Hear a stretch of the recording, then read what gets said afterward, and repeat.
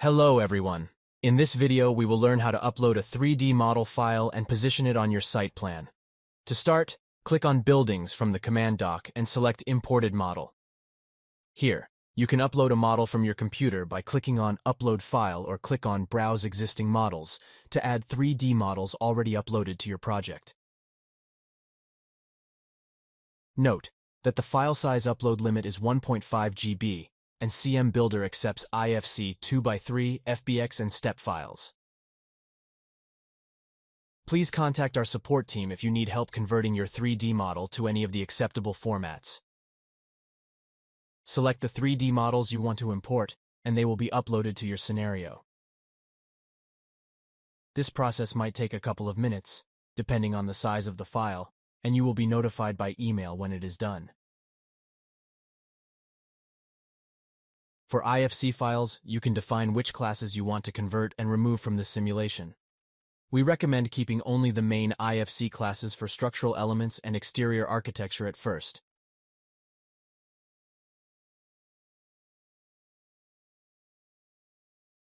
The imported model default position on the map is based on the model origin point.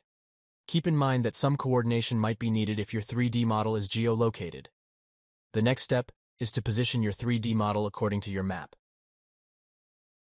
We suggest using a drawing to help with this process, as it will show the accurate location of your building in relation to the surroundings.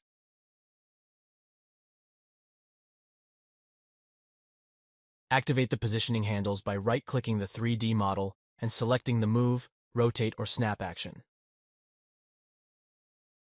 You can also right-click on the model item in the model tree and select Edit Model, or open the Model Card menu and select Edit. The Model Properties menu will appear on the right-hand side and the different positioning options in a menu below the Milestone Manager.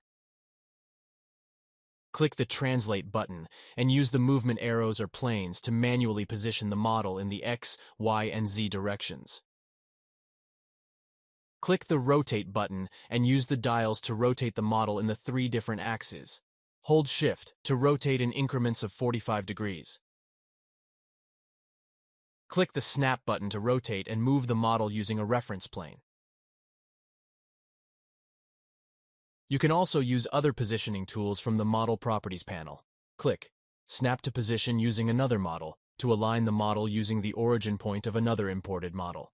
Click Center Model on Map tile to move the model to the center of the map tile. If you have uploaded an FBX file, you can scale the model by selecting Scale Model Units and define the conversion units.